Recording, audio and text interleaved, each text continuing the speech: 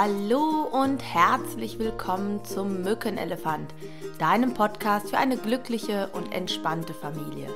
Mein Name ist Simone Kriebs und ich freue mich wahnsinnig, dass du heute wieder eingeschaltet hast zur nächsten Folge. Heute geht es um das Thema Gefühle. Bin durch dieses Thema aufmerksam geworden, weil ich gestern in einer Schule gearbeitet habe mit Lehrern. Eine Lehrerin sagte, ja, sie kann nicht böse sein. Das äh, würde ihr schwerfallen. Und da habe ich sie gefragt, was sie denn damit meinen würde, böse sein. Und sie beschrieb das dann so ein bisschen und ich fragte sie, ach, kann es sein, dass Sie meinen wütend? Und dann überlegte sie kurz und sagte, ja, richtig, wütend, das meine ich. Und vielleicht kennt ihr das auch, dass man den Kindern sagt, von früher noch, das ist böses Verhalten, das ist gutes Verhalten, äh, statt die Be Gefühle zu benennen, um die es gerade geht. Die erste Frage, die mir da so in den Sinn kommt, ist, gibt es eigentlich gute und schlechte Gefühle? Vielleicht ist das für dich auch interessant. Was verbindest du mit guten Gefühlen oder schlechten Gefühlen? Gute Gefühle, sowas vielleicht wie Freude, Glück, Dankbarkeit, äh, Spaß, Liebe, Humor, also solche Sachen. Ja, okay, Humor ist wahrscheinlich äh, Spaß, ne?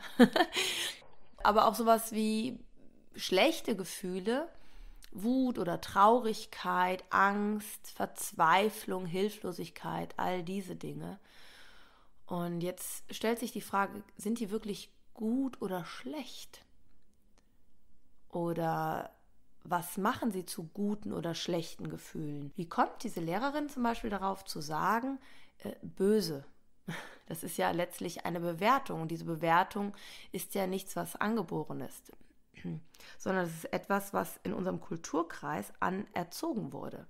Gefühle sind von sich aus angeboren. Wir haben da mehrere Grundgefühle, die sich sogar über alle Kulturen gleich ausdrücken in mimischen Prozessen. Bewertungen dazu, die haben halt sehr viel damit zu tun, in welchem Umfeld werde ich groß? Ja, wie reagiert mein Umfeld auf meine Gefühle? Und Gefühle dienen dazu, dir eine Rückmeldung zu geben, wie du zu bestimmten Dingen stehst wie deine Bewertung dazu ist. Und das sind oft Gedanken, die wir haben. Diese Gedanken lösen dann auch wieder Gefühle aus, nämlich das ist richtig oder falsch, das ist gut oder schlecht. Gefühle an sich sind aber einfach nur Gefühle. Gute Gefühle zeigen dir auf, dass es Sachen sind, die dir gut tun, in denen du dich sicher, wohl und zufrieden fühlst. Unangenehme Gefühle zeigen dir auf, wo es nicht gut für dich ist oder wo vielleicht sogar auch Gefahr droht. Denn unser Gehirn hat ja die Aufgabe, uns möglich lange durchs Leben zu bringen. Das heißt, unangenehme Gefühle, dann neigen wir zu, diese zu vermeiden. Und wenn du jetzt als Kind ganz oft hörst, das ist böse, was du machst, das darfst du nicht, dann verbindest du damit, ich darf nicht wütend sein was dann dazu führt, dass ganz, ganz viele Erwachsene heute durch die Welt laufen und sehr viele Probleme haben im Umgang mit ihren eigenen Gefühlen und ähm, nicht wütend sein können oder nicht traurig sein äh, können, sich nicht erlauben zu weinen. Und das sind alles Dinge, die du gelernt hast zu unterdrücken, die aber im Gegenzug total viel Energie kosten sie unterdrückt zu halten, weil natürlich hast du diese Gefühle trotzdem.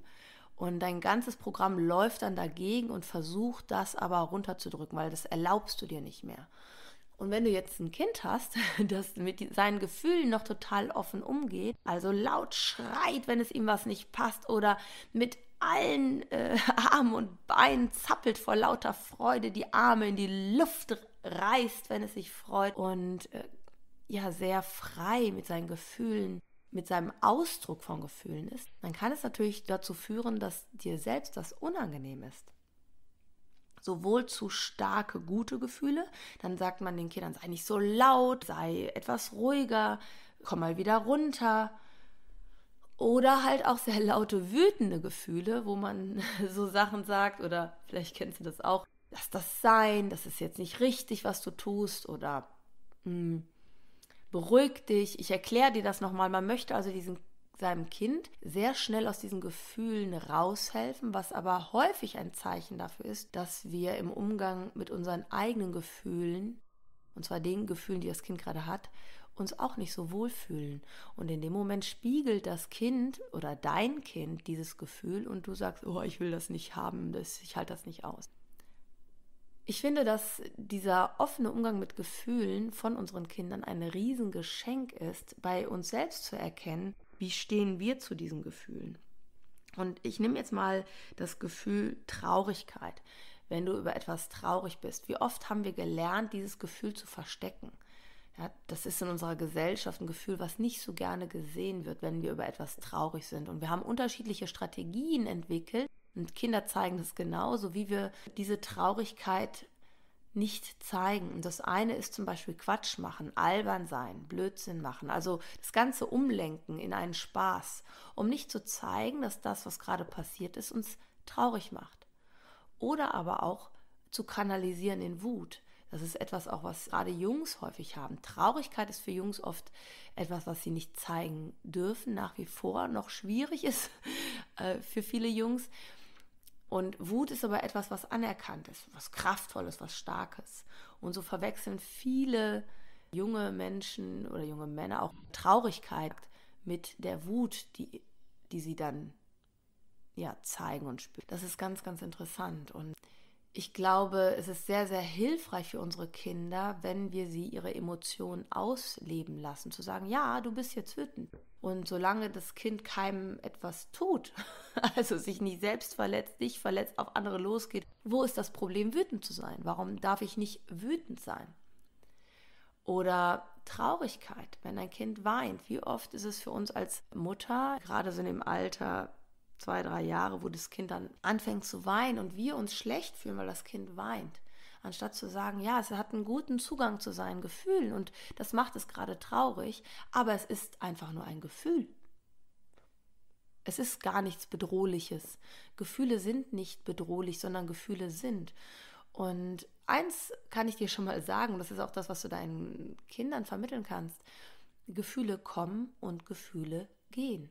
Gefühle sind nichts Konstantes, die so bestehen bleiben und wir kommen aus diesem Gefühl nie wieder raus, sondern Gefühle sind äh, ein Kommen und Gehen. Wenn wir sie einfach auch zulassen und uns nicht unnötig reinsteigern oder auch unnötig unterdrücken. Und äh, dieses Unterdrücken ist etwas, was wir mit zunehmendem Alter immer mehr machen, was dann dazu führt, wenn es also wenn dieses Gefühl sich nicht mehr unterdrücken lässt, dass es uns dann wie so eine Riesenwelle überschwemmt, weil es sich so angestaut hat. Ja, und dein Kind kann halt sehen, dass diese Gefühle völlig in Ordnung sind. Ja, du bist traurig und das ist in Ordnung. Und das, was du machen kannst, ist zu sagen, kann ich irgendwas für dich tun? Brauchst du was? Magst du, dass ich dich in den Arm nehme? Möchtest du, dass ich dich in Ruhe lasse? Und dann einfach dieses Gefühl da sein lassen. Zu sagen, es ist okay. Und es geht vorbei. Und auch wenn das Gefühl jetzt gerade blöd ist für dich, ich weiß, es geht vorbei. Und ich habe das in einer anderen Folge schon mal gesagt, grundsätzlich Kindern zu vermitteln, dass das Gefühl, was sie gerade haben, kommt und geht und wir ein Vertrauen in unsere Kinder haben, dass dieses Gefühl etwas ist, womit sie lernen, alleine umzugehen, stärkt unsere Kinder im Umgang mit ihren Gefühlen. Und da ist es häufig so, dass du dich in deinem Umfeld auch nochmal stark positionieren musst, weil andere, also Erwachsene, häufig dieses Gefühl ja nicht aushalten. Und du dein Kind stärken musst äh, oder kannst an dieser Stelle, zu sagen, ja, für manche ist das schwer auszuhalten, wenn man wütend ist, aber es ist völlig in Ordnung. Und dann ist halt die Frage, was kann ich mit der Wut machen? Und in sozialen Trainings, wenn ich mit Kindern schon mal gearbeitet habe, im Kindergarten oder in der Grundschule, haben wir uns halt überlegt, was kann man mit Wut machen. Und damit in Kontakt bekommen bin ich damals in meinen eigenen Weiterbildungen, als mir halt auch gesagt wurde, du bist der Besitzer deiner Gefühle.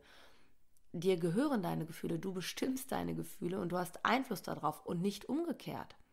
Das fand ich damals sehr, sehr interessant und habe dann auch angefangen, mit meinen eigenen Kindern Dinge auszuprobieren. Und ich erinnere mich so immer an eine Szene, das war im Auto, morgens um 7 Uhr. oder Viertel nach sieben war ich auf dem Weg zur Kita mit den beiden. Äh, Luca war damals hm, acht Jahre alt, Anna vier Jahre und ich habe die in den Hort und in die Kita gefahren, also in den Kindergarten. Und was machen Kinder morgens um Viertel nach sieben hinten auf dem Auto Rücksitz? Kannst du dir wahrscheinlich denken, wenn man gestresst ist, weil man schon alle Gedanken hat, was äh, bringt der Tag so mit sich, was muss ich noch erledigen? Sie streiten, genau. Auch Pädagogen, Kinder streiten. Und während die da so rumstritten und nein, das ist aber meins und du musst mir das zurückgeben, nein, ich will das aber auch haben, merkte ich, wie in mir dieses Gefühl von Wut sich im Bauch sammelte und so langsam hochstieg. Bei mir war das so, kratzte schon so langsam am Hals. Kennst du vielleicht so ein Kloß im Hals? Und ich kurz davor war, mich umzudrehen, zu sagen, wow, jetzt ist aber einfach mal Feierabend, gib ihr das jetzt zurück und jetzt beruhigt euch mal. Das hätte aber wahrscheinlich gar nicht dazu geführt, dass die aufhören, sondern eher, ja, aber äh, der Luca hat das so gemacht, nein, die Anna hat aber angefangen. Kennst du das vielleicht? Und dann habe ich mir überlegt, ja, was wäre denn mal ein anderes Verhalten? Was könnte ich denn jetzt mal anderes tun, um nicht immer gleich zu reagieren, wenn ich wütend bin und mich nicht immer verantwortlich zu fühlen? Und dann stand ich an einer roten Ampel und hatte damals noch so einen uralten Kadett, so mit Kurbelfenster. Und ich kurbelte dann ganz schnell an der Ampel das Fenster runter, schmiss so symbolisch was aus dem Fenster heraus und kurbelte mega schnell dieses Fenster wieder hoch und setzte mich gerade hin. Und durch diese übertriebene Aktion und Handlung guckten mich meine beiden Kinder vom Rücksitz an und mein Sohn sagte dann nur, Mama, alles in Ordnung? Und ich sagte, ja, ich habe gerade gemerkt, wie ich wütend wurde, weil ihr hinten gestritten habt. Und ich wollte diese Wut jetzt nicht haben. Und deswegen habe ich das Fenster runtergekurbelt, die Wut rausgeschmissen. Und dann musste ich mich so beeilen, weil die Wut will immer zurückkommen. Die Wut braucht einen Körper. Und meine Kinder haben sich darüber total kaputt gelacht, wie lustig das aussah. Wir haben gemeinsam darüber gesprochen, was man mit Wut noch so machen kann, dass man auf ihr rumtrampeln kann, dass man sie ins Klo runterspülen kann und äh, haben dann angefangen, immer so lustige Aktionen zu planen, wenn wir spüren, wir werden wütend und äh, was gar nicht war, wir haben uns äh, nicht gestritten und die Kinder haben sich auch nicht gestritten. Und das hat mir gezeigt, wie kraftvoll sowas ist, einfach mal was zu tun, was gerade in dem Moment gar nicht so richtig passt. Und meine Tochter hatte dann irgendwie kurze Zeit später so eine witzige Idee. Sie hat sich auch über irgendwas geärgert. Ich weiß gar nicht mehr, ob das was war über mich oder über ihren Bruder. Auf jeden Fall äh, hat sie sich über etwas geärgert. Und wir hatten im Flur ein großes Bild hängen. Da war eine Kuh drauf. Und dann stellte sie sich plötzlich vor dieses Bild und rief, du doofe Kuh und musste sich total kaputt lachen, weil sie wollte wahrscheinlich jetzt nicht dem Luca oder mir irgendwie sagen, du doofe Kuh, aber hat dann dieses Bild beschimpft und über diese Sache musste sie so lachen und wir mussten auch so lachen und das hat die ganze Situation entspannt. Und ich finde, es ist total toll, wenn wir unseren Kindern da einfach mal ein neues Vorbild sein können, kreativ zu sein, was kannst du tun? Also es gibt ja immer so typische Situationen, ähm, die wiederkehren in der Familie, wo deine Kinder dich vielleicht auch mal so richtig nerven. Und du denkst, boah, nee, das brauche ich jetzt gerade gar nicht, ich bin jetzt müde, ich bin erschöpft. Und wo wir dann eher genervt und gereizt reagieren. Und an den Punkt mal zu überlegen, was könnte ich jetzt Verrücktes eigentlich tun, das ist für dich wie auch für deine Kinder eine totale Bereicherung da fällt mir gerade noch eine Szene ein. Äh, wir hatten da so eine offene Küche und die saßen im Wohnzimmer und dann immer sagten sie, wann ist das Essen fertig? Wann gibt's Essen? Ich habe Hunger, ich will jetzt essen.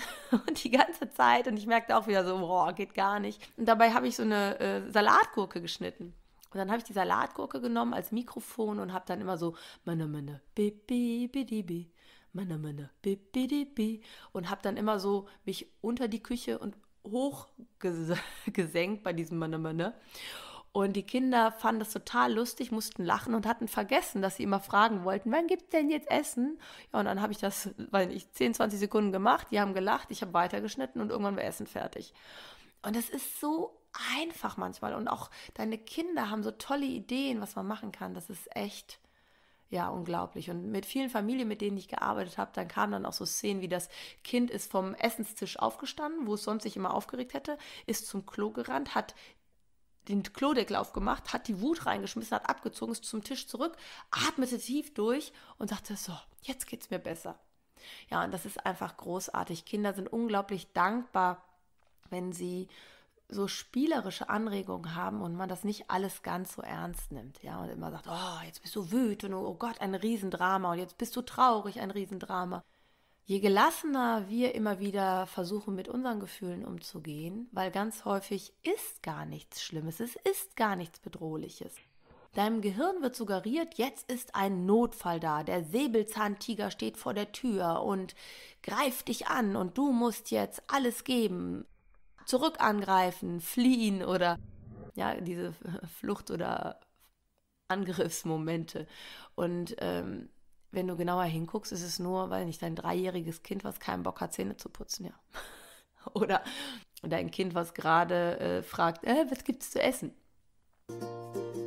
Ja, und vielleicht konntest du ein bisschen was mitnehmen und ich freue mich mega, wenn du einfach Sachen mal selber ausprobierst und mir ein Feedback gibst auf Facebook, der Mückenelefant. Dazu wird, gibt es ja die Seite, die Gruppenseite und mal teilst, was du ausprobiert hast von diesen Ideen oder ob du neue Ideen und Anregungen hast und ja, wie es dir damit ergangen ist. Und wenn dir die Folge gefallen hat, dann freue ich mich natürlich mega, wenn du mich bewerten würdest. Also mit einer Sterne-Rezension. Gerne fünf Sterne natürlich, aber das steht dir ja frei. Und äh, auch einen Kommentar hinterlässt äh, in der Bewertung, warum dir diese Folge so gefallen hat oder der Podcast so gefällt, damit auch andere davon profitieren können und ähm, du vielleicht auch diese Folge weiterempfiehlst. Ja, dann wünsche ich dir heute einen lustig entspannten Tag und viele Ideen beim Ausprobieren. Ich bin so gespannt, was du schreibst und äh, wenn du uns teilhaben lässt an deinen Prozessen. Einen schönen Tag und denk immer daran, du bist genau richtig, wie du bist für dein Kind. Du bist eine fantastische Mama, du bist ein fantastischer Papa. Brauchst nichts Besonderes lernen, um wertvoll und wichtig für dein Kind zu sein. Fühl dich umarmt und bis bald. Tschüss, deine Simone.